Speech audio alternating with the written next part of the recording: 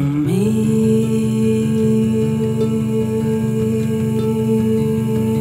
me there. Bundles of flowers away through the hours.